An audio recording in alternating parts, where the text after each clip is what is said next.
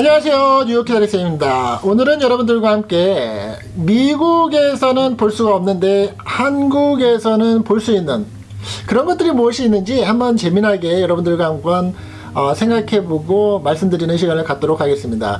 사실 미국에서 사신 지가 2, 30년이 되시고 한국에 거의 안 나가신 분들은 어, 대중매체 영상을 통해서나 그러한 어떤 TV 방송들 이런 걸 보시면서는 비간접적으로 보신 경우도 있을 겁니다. 어, 저 같은 경우에는 한국에 1년이면 몇 차례씩 왕복으로 비즈니스 제가 출입을 하면서 어, 제가 보고 느끼고 또 어, 이런 부분은 미국 쪽에서 특히 동부 뉴욕 쪽에서는 거의 볼 수 없는데 라고 싶었던 것들을 한번 다뤄보도록 하겠습니다. 제가 오늘 드리는 말씀은 사실 서부나 또 남부 북부 지역에서는 어, 혹시 다른 점이 있을지는 모르겠습니다. 하지만 제가 지금 오늘 말씀드리는 내용들은 전반적으로 한국에서 볼 수는 있지만 미국 동부 지역에서 어떤 경우는 대부분이 미국일 겁니다. 어, 볼 수 없는 것들에 대해서 한번 말씀드리도록 해보겠습니다. 첫 번째입니다. 자, 식당에, 레스토랑에 갔을 때 한국은 테이블마다 벨이 있습니다. 이 벨을 누르게 되면 내가 무엇이 필요하고 반찬이 더 필요하다거나 아니면 내가 음식에 대한 어떤 요청사항이 있거나 추가 메뉴가 필요하다거나 할 때마다 벨을 누르게 되어 있습니다.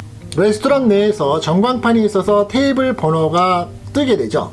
하지만 미국에서는 그거 대신에 어, 진동으로 캐리어를 할 수 있는 그 부분밖에는 없죠.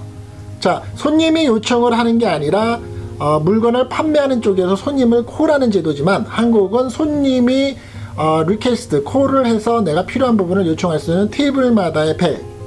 두 번째입니다. 어, 우리가 소위 말하는 벽다방이라고 하는 자판기 커피 machine이 없죠. 사실 미국 내에서는 그렇게 커피 머신을 둘 필요가 없기 때문에 커피값이 싸고 또 어, 커피를 내려서 먹는 커피들의 품질이 굉장히 높기 때문에 우리가 소위 말하는 자판기 커피가 없습니다. 한국은 자판기 커피가 율무차, 유자차, 코코아, 커피, 밀크커피, 블랙커피 이렇게 정리가 돼서 나누어져 있습니다. 최근에는 음식점마다 100원, 나 때로는 어, 음식을 드신 고객들이 그냥 프리로 먹을 수 있는 자판기로 이용이 되고 있죠. 미국에서는 없는 한국의 커피 자판기 문화 두 번째였습니다. 자, 세 번째입니다. 어, 한국에 가시게 되면 개인 병원을 가시던 또 큰 병원을 가시던 꼭 보실 수 있는 게 대형 TV 스크린입니다. 그 스크린에서는 환자의 대기 순서와 내 환자의 이름, 그 다음에 어, 누구 의사를 만날 것인지에 대한 정보가 떠 있습니다. 그리고 그 화면을 보고 다음에 내 진료 어, 차례, 차례를 기다리시고 또한 내 앞에 몇 명이 있는지 대기 시간까지 확인하실 수 있는 병원에서의 시스템. 미국에서는 아직 흔하게 보실 수가 없죠. 한국에는 오래됐습니다. 네 번째입니다. 초고속 인터넷망.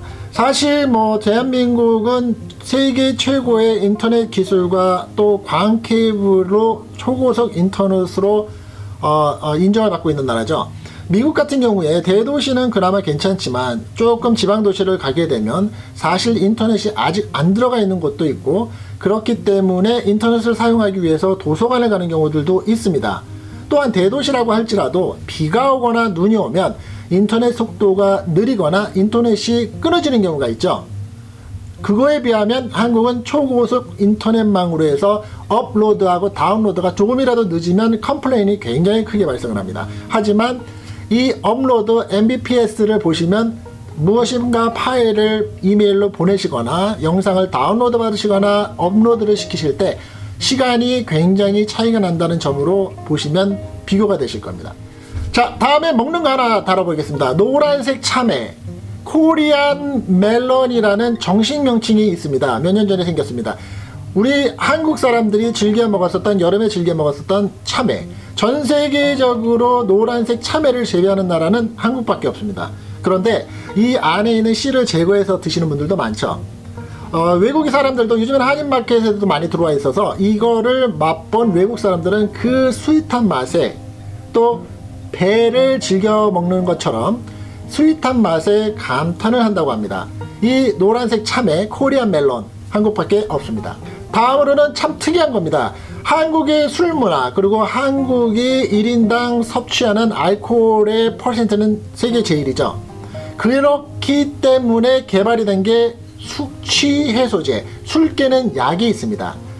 어, 여 무엇이라고 하는 제품도 있고 또 헛개 무엇이라는 제품도 있고 다양하게 있습니다. 마시는 드링크로 되어 있는데 가격이 좀 비쌉니다. 뭐 한 4,500원, 뭐 5,000원 이 정도 사이가 됩니다. 하지만 술을 마시기 전이나 술을 마신 다음엔 도움이 된다고 해서 한국에 술을 굉장히 자주 먹어야지 되는 직장인들은 많이 먹고 있습니다. 또한 요즘에는 아이스크림으로 숙취 제거 제도 나왔습니다.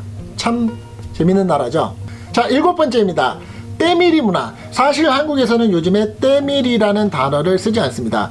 세신사라는 단어를 쓰죠.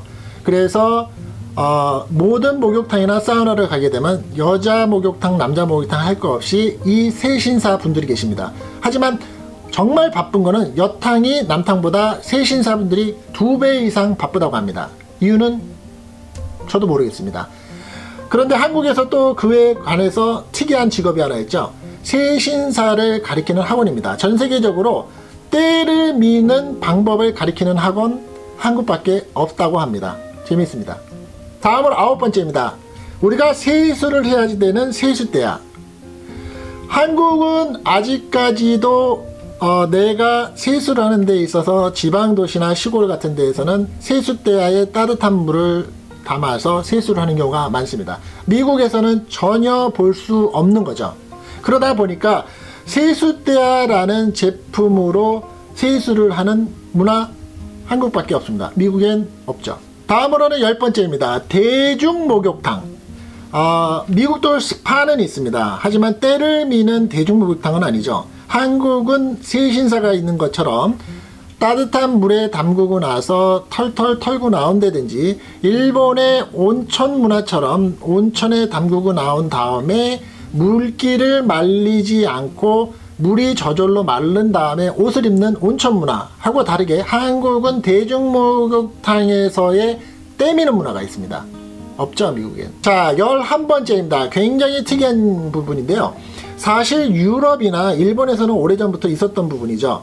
한국은 대도시인 경우에 버스 정류장마다 최근에는 쓰레기통이 없습니다. 그런데 이 버스 정류장마다 보시면 버스 shelter에 꼭 붙어 있는 게 실시간 버스 운행표가 있습니다. 내비게이션으로 해서 내가 기다리는 버스 몇 번 버스가 몇 분 후에 도착을 하고 이 버스가 분주한지 지금 안에 사람이 많이 탔는지 보통인지 한가한지까지 표시가 되고 있습니다. 그런데 한국에 나가셔서 이용을 해보신 분들은 많이 아시겠지만 그 버스 시간의 정, 도착 시간이 거의 정확합니다.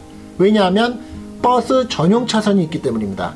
그래서 버스 전용 차선으로 오기 때문에 버스가 몇 분 후에 몇 번 버스가 도착한다 라는 부분에 실시간 버스 운행 노선표 굉장히 도움이 되고 정확한 정보력을 전달하고 있는 그런 모습입니다. 사실 어 제가 지금 이 부분은 다른 도시 미국에서 다른 도시에서는 어 있는 도시는 있는지 모르겠습니다. 하지만 어 이 부분만큼은 제가 뉴욕 근교에 있는 주에서는 볼 수 없는 어 시스템이라고 소개를 해드립니다. 혹시 이 부분은 다른 주에 살고 계시는 분들 중에서 그 주에도 이런 시스템이 있습니다 라고 어, 보시는 분들 중에서 아시는 분이 있으면 댓글을 좀 남겨주시면 감사하겠습니다 자 12번째입니다 사실 입에 담기는 좀 민망하지만 한국에는 DV방, 키스방, 그 다음에 대화방 이런 방의 명칭으로 되어 있는 유흥점들이 너무너무 많습니다 사실 대부분 지하나 2층에 존재를 하죠 3층이나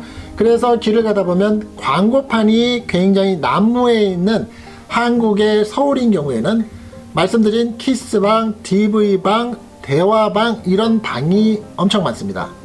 무엇을 하는 곳인지는 여러분들이 찾아보십시오. 자, 13번째입니다. 한동안 가라오케 개념으로 노래방이 한국에선 대세였죠. 물론 요즘에도 노래방과 단란주점이라는 명칭은 있습니다. 그런데 몇 년 전부터 생기기 시작한 부분이 뭐냐면 청소년들도 들어와서 활용할 수 있는 코인 노래방이라는 게 있습니다. 코인 노래방이 뭐냐면 동전을 500원, 100원짜리를 넣고 내가 넣은 동전만큼만 내가 원하는 노래를 부르고 나올 수 있는 코인 노래방. 미국에는 아직 없습니다. 또 하나를 더 곁들여 말씀을 드린다면 인형 뽑기가 있죠. 뽑기방이 없습니다. 미국 한국에서 보면은 대형 어, 기계 밴딩 머신이 있어서 내가 동전을 집어넣고 인형과 각종 기프트, 선물 어떤 개념의 제품들을 어, 뽑는 그런 뽑기 방들이 있습니다. 물론 미국도 그 뽑기 머신은 있습니다. 어디가 제일 많으냐고요? 네, 란드로맨. 사람들이 기다리기 지치기 때문에 특 히 히스패닉 분들이 많이 사시는 란드로맷에는 뽑기 기계가 있습니다. 하지만 뽑기 기계만 10대 정도씩을 들여놓고 점포, 스토어를 갖추고 있는 뽑기방 한국밖에 없죠. 한동안 젊은 학생들과 젊은이들한테 대단한 인기를 끌고 있었던 뽑기방입니다. 자, 그 다음에 한국에 왔다 갔다 하시는 분들 중에서는 많이 놀라시고, 어, 이 자리를 누가 앉을까 안 앉을까를 유심히 보신 적이 있으셨을 겁니다. 뭐냐면, 지하철에서의 임산부 좌석이 따로 있습니다. 모든 칸의 입구 쪽에서의 오른쪽과 왼쪽에 존재를 하죠.